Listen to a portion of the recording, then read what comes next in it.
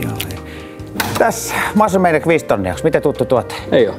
12 tablettia aamu illoin rupeaa massaa tulee. Tai sitten se voisi sisältää jotain ihan muuta. Siinä voi olla vähän muuta, huumeet, raskas metalli, rotamyrkky, jne.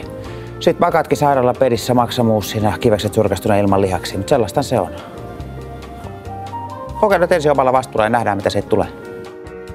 Kun tilaat verkosta EUn ulkopuolelta, teet sen omalla vastuulla. Se on sitten pikkasen laiton. Pikkasen.